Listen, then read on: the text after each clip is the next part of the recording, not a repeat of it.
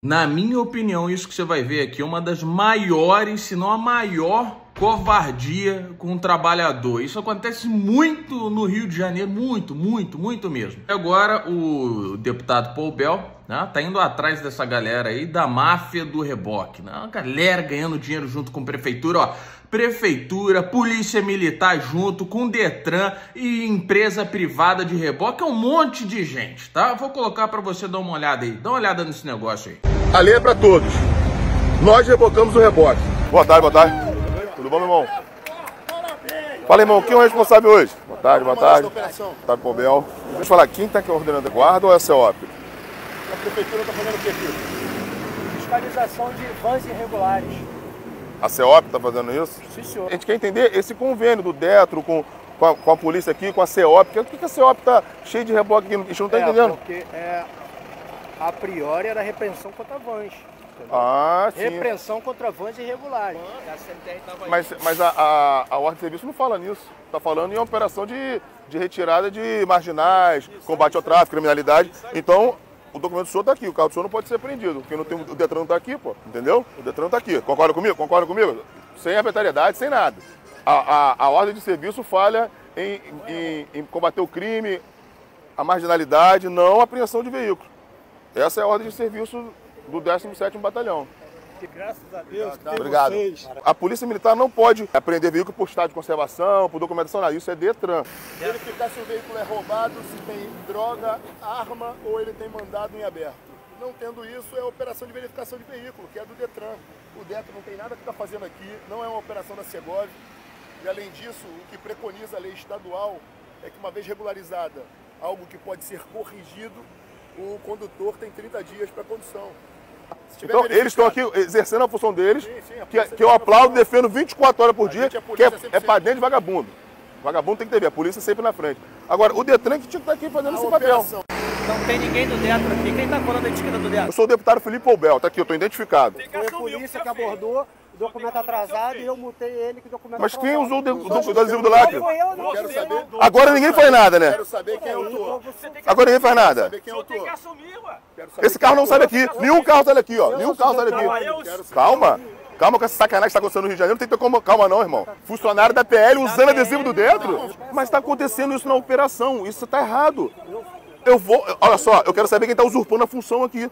Porque está usando o adesivo de uma, de, uma, de uma entidade que não está aqui presente na operação, pô. Ponto. É ordem de É quem? ordem do pátio? É ordem do pátio colar o adesivo do Detro no veículo. Onde que é o pátio? Leopoldino. Então a ordem do pátio colar o adesivo do Detro. O problema é que a Mas a- a- é o problema, Guarda Municipal, a Guarda o problema é que vocês não têm autoridade para lacrar carro de ninguém usando o adesivo do Detro. Eu vou pedir para retirar esse adesivo todo aqui, por favor. Pode retirar esse adesivo todo esse carro aí. Para lacrar um carro, para levar o carro, tem que ter fé pública. Nada contra você. São contra as pessoas que estão mandando ó, erroneamente no Rio de Janeiro. Com remoção ordem de de serviço. Você quer ver a ordem de serviço Quero, também? quero, quero ordem de serviço, senhor. Não, mas se for, se for o caminhão que, que, que lacrou, ele não vai levar ele, não. Não, mas, é- mas a ordem de serviço fala. Do, a, a missão do senhor não é essa hoje. A ordem de serviço não é essa hoje. A ordem de serviço está aqui, ó. Transporte complementar. Mas olha só, se não estiver na ordem de serviço, está irregular. E numa quarta-feira, véspera de feriado, tra- causando transtorno. Segura, quem deu ordem para subir os carros pro reboque? Você viu a sua ordem de serviço? Transporte. Que é van. Mas a ordem de serviço não reza nesse sentido. Pô, é um absurdo. Véspera de feriado, vocês estão causando, pô. Tá autuado e pode ir embora. Não pode prender o carro dele, não. Pode ir embora, tá liberado. Tá liberado. A cerveja, olha só, o reboque tá irregular. Lacraram o carro irregularmente, estava com o dedo, adesivo do dedo. Tinha algum agente do dedo com o senhor aqui? Tá, Não. Então, então você acha que o ouvido estava errado? A lei libera, a lei libera, a lei fala claro. Autuou e liberou. Ele tem 30 dias para regularizar o carro dele. Ponto. Vamos resolver aqui da melhor maneira possível. Ninguém, nenhum carro vai ser rebocado. Então esse adesivo não pode ser utilizado. Ponto. Pode. Até porque o, o, agen- o- o agente do reboque não tem fé pública como tem o agente do Detro. Não tem fé pública, como é que ele vai utilizar o adesivo de um, de um órgão público? Daqui a pouco tá todo mundo usando farda na rua dizendo que é polícia. Pegaram uma empresa terceirizada, estão botando aqui, coitado, os funcionários para usar o adesivo do Detro. Isso não existe, pô. Não tem nem fé pública para usar o adesivo de uma entidade, pô. Isso é muito pior do que nós imaginávamos. Diversas irregularidades. Outra empresa, operado pela empresa PL, aqui o adesivo está escrito operado pela empresa PL, Claramente um cartel. cartel. Você é autoridade de trânsito. Olha o estado desse pneu aqui. O que, que o senhor diz? TWI não tem mais. O senhor é autoridade de trânsito, correto? Ó, se isso aqui é um carro do cidadão, tá prendido na hora, preso. Então, faça valer a sua autoridade autua esse caminhão e bota em cima da prancha do caminhão do CEOP, que está aqui. A gente percebeu que tem uma autoridade do município, da CEOP, autuando o cidadão e quem está rebocando é o. É o Detro, não existe não convênio, existe. não existe convênio CEOP Detro. É uma, é uma operação que irregular. A missão do Detro é fiscalizar o transporte irregular. Nenhum desses carros que está aqui estavam fazendo lotada. Nenhum desses carros? Nenhum desses carros. Carro então, de trabalhadores, pessoas humildes, pessoas estavam aqui voltando do seu trabalho. E pior, Rodrigo, o horário, nós estamos na véspera de um feriado. falar agora. Não tem planejamento. Olha, uma operação. Um absurdo. Doa quem doer. Nós vamos continuar combatendo valeu, a máfia do reboque. Pode contar com a gente, irmão. Isso é covardia que está acontecendo no Rio de Janeiro. Eles estão causando engarrafamento numa área perigosa, numa área com alto porra, índice de periculosidade, onde bandidos atuam, bandidos sequestram, roubam. É isso que eles estão causando. Aqui, essa blitz, infelizmente, não visa a vida, o cidadão de bem, visa a arrecadação da máfia do reboque do Rio de Janeiro que nós estamos combatendo. A lei é para todos. Pneu em péssimo estado de conservação, nós vamos fazer valer a lei. Isso aqui vai ser rebocado porque é pneu. Sim, mas eu, quero, eu também quero que faça constar que foi usado adesivo de lacre do Deto sem nenhum funcionário do Deto. Não, sim.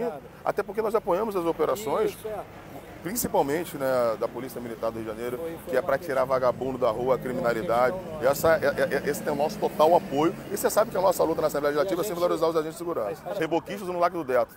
Como é que eu vou usar o lacre de uma entidade estadual com poder de apreensão de carro de, de, de lotada, carro de transporte, lacrando o carro dos outros. E aí que quando nós chegamos aqui, ninguém queria assumir quem tinha colocado, lacrado os carros, porque não tem um funcionário do Detro capacitado com fé pública para usar o tal adesivo. Mas, mas, mas, tenente, pelo que eu vi a ordem de serviço também da, da, da, do batalhão, a ordem de serviço fala na mancha crime, criminal, mancha criminal, criminalidade, não fala em apreensão, remoção de veículo, não tem. Né? É infracionar quem tiver errado, que é, não, é a lei, e 30 dias para eles regularizarem.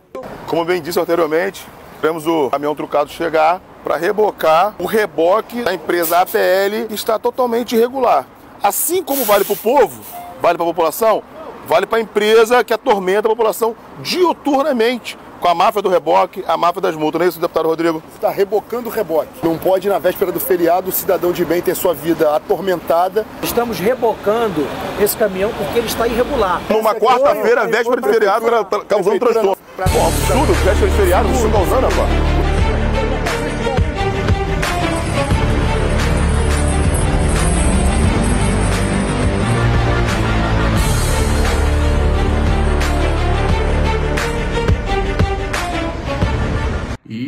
Muitas vezes, né, o caminhão ali que vai fazer o reboque está irregular. Pneu gasto, às vezes documento atrasado e um monte de coisas.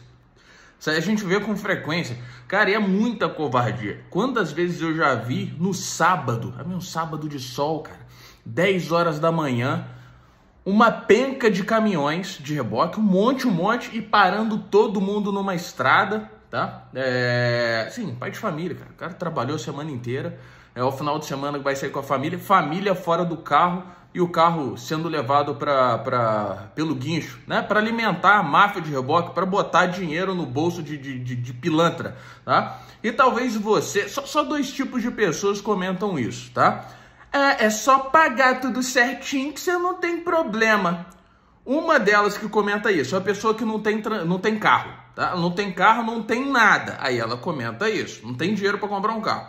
Então ela não sabe qual é a realidade. E a segunda, Playboy, tá? Quem tem vida fácil e o papai tá pagando. Hoje em dia eu pago entre 7 e 8 mil reais de PVA no meu carro.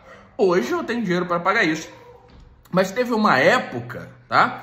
Que eu era assalariado e tinha uma moto 125 que as contas não fechavam e não conseguia pagar o IPVA porque as contas não fechavam. Você que é que, que tem uma vida normal, real e tem um transporte, você sabe como funciona o negócio, tá? É a taxa de um monte de coisa, é IPVA, é, é, é, é conta que você tem para pagar, é água, luz, é aluguel, enfim, é um monte de coisa, né? Então, cara, a vida do, do, do trabalhador normal é apertado para conseguir pagar tudo. Aí numa dessas, cara, o, o PVA, o cara atrasou o PVA, ou uma multa que o cara tomou, alguma coisa do tipo, né? Aí numa dessa, para o carro, leva o carro, né?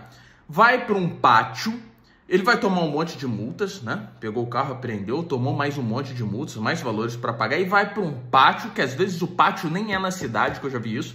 leva para um pátio numa outra cidade, longe pra caramba, e todos os dias vai contando dia de pátio, dia de pátio. De no fim, o cara pega lá, não, não tem nem condições mais de arrancar o veículo de lá, pô, não tem como pagar, não tem, não tem, não tem mais o que fazer. Se eu tirar o veículo de lá, eu morro de fome, né?